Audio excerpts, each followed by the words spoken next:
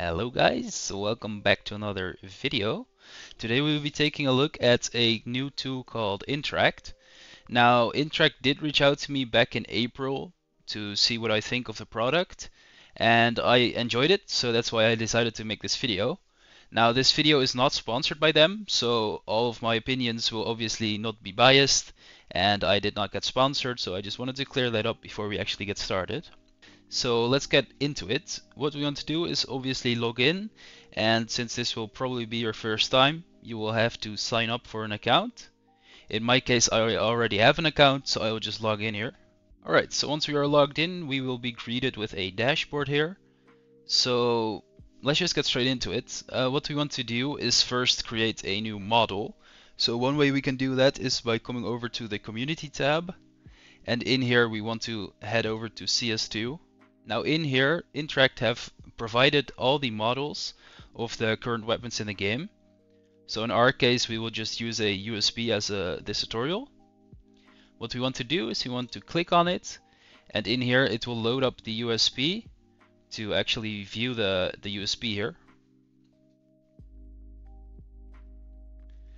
So in here you can inspect the USP before we actually get started editing. It's a very sleek design and a good viewer.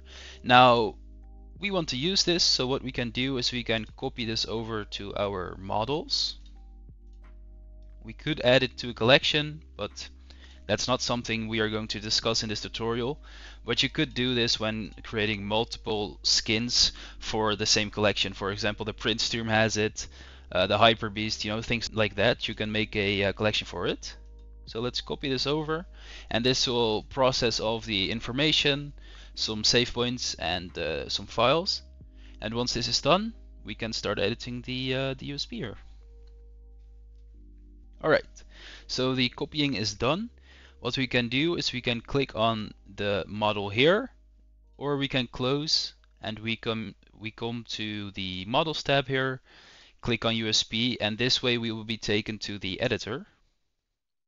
So once we are in here, we will first just take a quick look at what Intract offers us. So when we get started here, all we can do is pretty much change the layout and the design of the whole USP at once. So this will be the first thing I will talk over and then later on in the video I will show you how you can uh, separate these parts and modify them separately. So let's just go over all of these features here. So first up is colors. Now in here you can select your color right down here and you can choose any color you want. In my case I'll just choose a dark blue. Now you have the color selected. What you want to do is click on the weapon and you click on the color. Now as you can see this didn't really change much and that is because our lighting is actually uh, too dark here so we can change it to something else to actually go ahead and change the color to what it's at. Right so there we are. This actually looks a bit more like it. Uh, we changed the scene HDRI at the bottom right here. And we went to lighting. And we changed the HDRI to studio. Now this seems to affect the colors a bit better. Um, yeah, it still looks a bit too dark for me, but I'll just have to play around with this setting, I think. Yep. Okay. Well, that's something we can do in the future. For now, we'll just keep going. Uh, then we have textures. Now in here, we can actually go to the texture library. Once we are in here, there are already some predefined uh, textures here. So, for example, we can just take one. Uh, I'll just take this gold looking model and we can actually apply this to our weapon as well. So if you just click on it and then click on the texture, we can see it adds that texture with the color we have selected over here. So it overlays it. Now as you can see, this actually looks pretty cool. So I'll just keep this as is, but what you can do is you can change rotation. You could also go ahead and simply offset it or change the scale. But I'll just keep this uh, at the default even though I don't remember what the default was, it's probably just one. Yeah, whatever. So that was the textures tab, so that's really cool. You can also upload your own textures here, so you can click on textures and you could add one in here and then just uh, apply it that way. They also offer AI textures, but I will not go over this. Then there are some decals, which you can also apply to your weapon. For instance, I have uploaded this decal here. That's a sticker into the game. Um, you can then select that and upload your own and click on it to actually place it somewhere. So if you want decals on your skin, you can do it this way. Just simply click and place them where you want them. I don't want this for now, so I'll just remove them. But it's a really nice option to have for uh, creating your skin. So it is actually that easy to um, make your own skin here. So this is already what I want. This is what I like. So for this simple skin, uh, we can simply export it. Like go over here, click on export. Now this will actually bake everything, make the right lighting, the UV maps and everything like that. Now we can download anything, but we obviously want the TGA here. So we download TGA, and then what we want to do is we want to come over to our file explorer, and we want to go ahead and go to our drive here where the CS is installed. So in my case, it's installed on my E drive. We go to the library, Steam apps, common. In here, we want to go to Counter-Strike Global Offensive.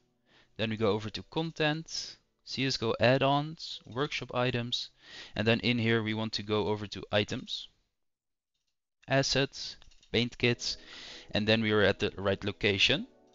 What we then want to do is move our file here to our paint kits folder and we can rename this to uh, something. it doesn't really matter.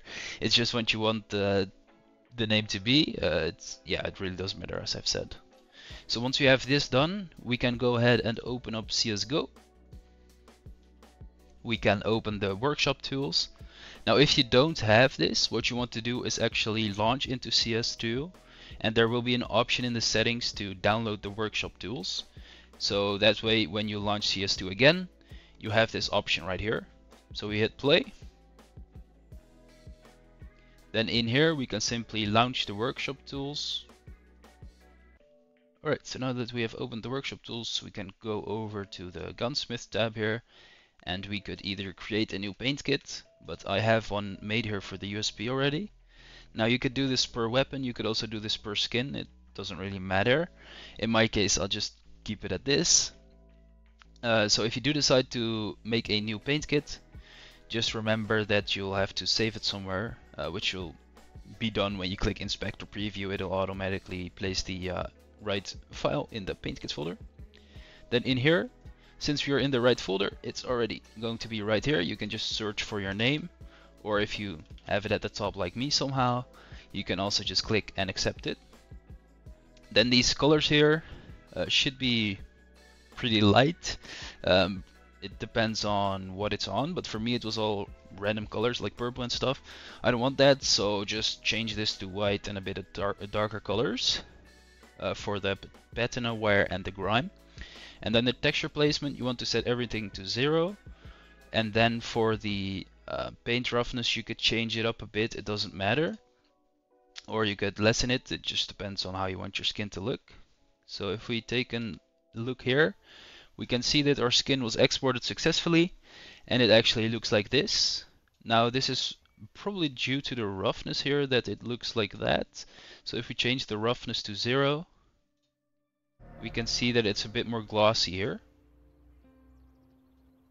So there we go. That's pretty much how you make a skin for the whole USP. So now let's go ahead and actually change it so that we can modify each part individually. So let's go back to Intract and close out of this. And what we can do is we can save this here. So we save that model, so that will be added to our save points here. So we can then delete our old one and we can rename this if we want. So for example, uh, USP V1, you know, it's the first version. So that way you can always go back to a previous version. So now to actually go ahead and modify individual parts, what we want to do is we want to come over to the model data section here and we want to click on extract UV nodes. Now we click on extract and this will simply extract every single part individually so we can modify it individually. Alright, so that might have taken a while, but at least we're done now. As you can see, the exact UV map has changed, so we also kind of lost our um, design here. So what we can now do is we can actually click and we can see that we can select every single part of the USP here. Now if you want to select multiple parts at once, you just hold shift while you are clicking and you can see that it will chain them all together and then we can do the same we have done before. So for example, if you want to make that blue, we can. And add the texture, we can also do that. Let's take this one now. And then if you want other parts to be a different color, different texture, you can also just select them and then you can also change those. So for example, we want to make this just a simple red here. We click on the red and then let's just I don't know, add a decal for the on the USP here. This is obviously a bad example because this is actually a sticker in the game, so whatever, it doesn't really matter, just a tutorial. But anyway, we can have this right here. This is a really nice skin, so let's hope it, get it gets accepted to the workshop. then what we can do is we can export, and it's basically the same as before. We just want to wait here, it's not an extra step you need to do. You can simply just click on export and it will export the same way as a another skin.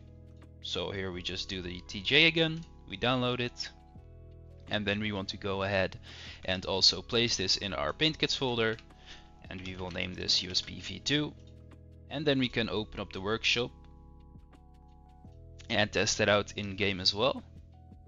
Right, so once we're in the workshop again, we can go ahead and change this right here to USP v2 because that's what we named it I think. Yep. And then we can simply inspect it again. Whoops. Right so as we can now see this has changed the individual parts as well as the parts that we changed so we can see that the stickers have been added right here or the decals I should say. This has been made red and then we have our texture over the top of the weapon here. Right, so another cool feature that Intract offers us is the ability to make a screenshot uh, for our thumbnail on the workshop item or even to export it and use it in a program like Photoshop or DaVinci or I mean Affinity Designer to edit it further. So what we can do is come over to the bottom right here and click on screenshot and record in here you want to set the screenshot size to the size you want it. In our case and most cases it'll probably be 1080p. Then we can set a transparent background here and we can simply download this. So as we can then see, it will download it at the angle it is right here. So if you want to get a close-up, you can simply zoom in. If you want to change the rotation, you can also do that. There's a lot you can do here. And then you just download and you can use that image in any photo editing software you want. Alright, so that was pretty much it for this tutorial. I don't really have anything else to uh, say to you. Um, if you found this video helpful or if you have any suggestions for me or for Intract, uh, the program, just leave them in the comments below and I will give the feedback to Intract if it's something about Intract and if it's something about me I will just comment right away and I will let you know um, what I will do as a feedback, I'll probably implement it, or if you're having any problems, I'll help you with that as well. So without further ado, I will see you in the next video, and bye bye.